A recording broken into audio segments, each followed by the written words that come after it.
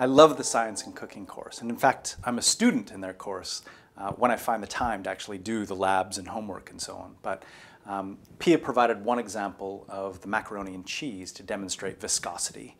Uh, another really nice one is the molten chocolate cake example. Now, with molten chocolate cake, uh, the center of the cake needs to be oozy.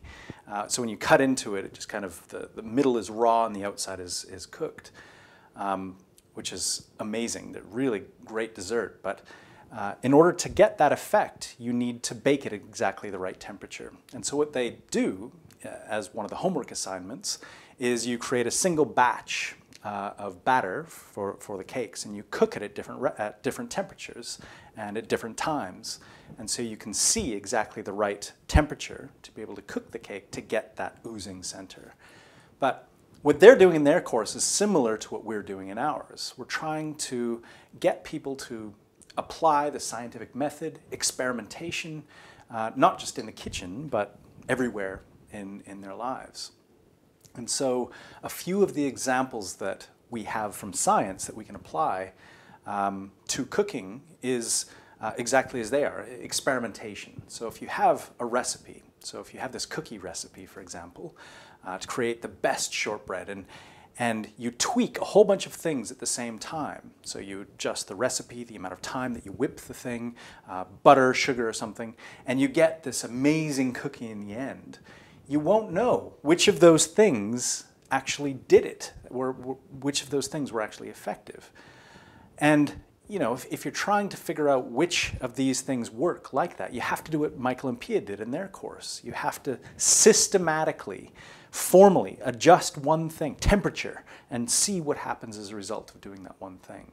So manipulating one variable, uh, variable at a time is really important. Another is careful notes. And so we learned in episode two that memory doesn't work like a videotape. And we're often really, we misestimate how uh, how well we're going to remember something when we learn it for the first time. And so if you just jot down in, in the recipe, in the margins of the recipe, that uh, something is two tablespoons, for example, if you're not very specific that it's two tablespoons of vanilla, say, then you're not going to remember it a month down the road. And so it's very important to be very specific about what you've done uh, throughout. Um, another is uh, telling other people about it. Once you create this amazing cookie and you've figured out what it was that you needed to tweak to get it there, tell other people. So don't just follow these recipes blindly and just pass them down from generation to generation or um, just keep them within your family. Tell other people because people don't do this very often. People don't manipulate recipes to see what it is that's effective. Um, they just kind of blindly follow what other people have done before them. Yeah, there's a great example, or there's a great story of this. Uh, a daughter and a mother in the kitchen, they're cooking a roast, you know, it's all prepared and ready to go, and then the mother says, oh, make sure you cut off the ends of the roast before you put it on the baking tray and into the oven. And the daughter says, oh, why do you do that? The mother's like, uh, I think it, uh, it, it helps release the juices, which improves the flavor. And, you know, the daughter's not quite convinced. And she says, well, come on, wh why, why do you do that? The mother says, this is the way I've always done it. This is the way my mother, your grandmother taught me. And so the daughter gets on the phone to grandma and says, look, we're making a roast and I'm wondering why you have to cut the ends off the roast before you put it on the baking tray and into the oven.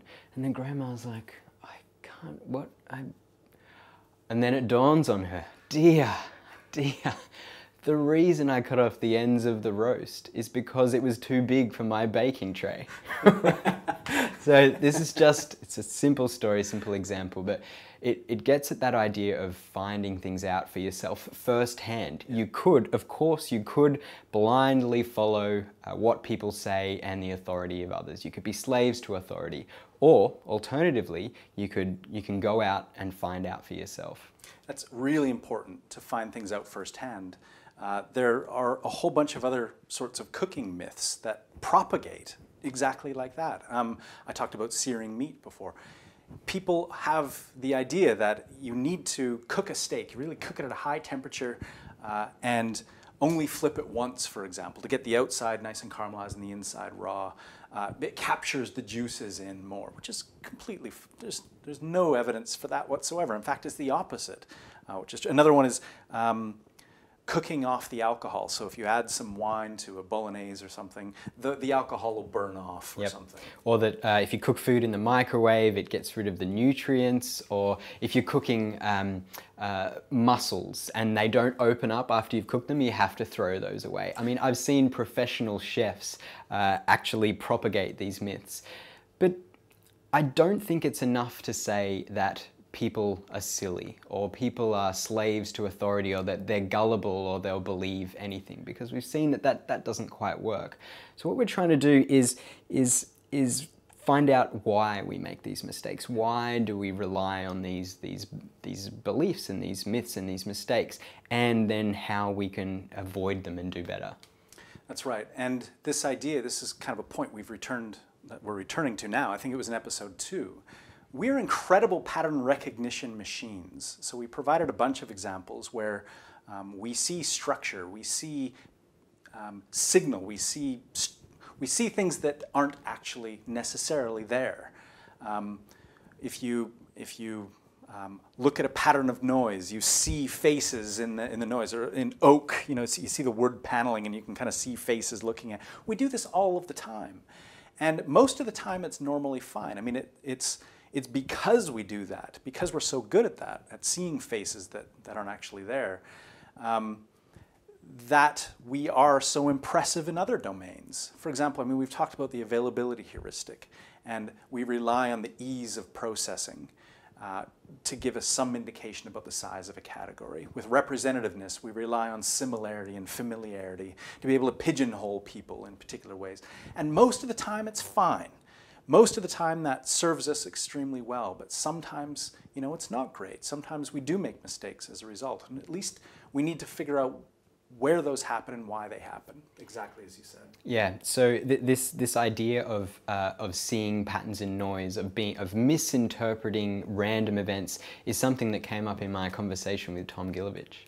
So why do we believe these strange things in the absence of, of data or, or evidence to the contrary? Yeah. Um, well, there's a whole bunch of reasons. There's not a, a single answer to this. If there was a single answer to it, we could easily teach that to people in school and then it would be gone.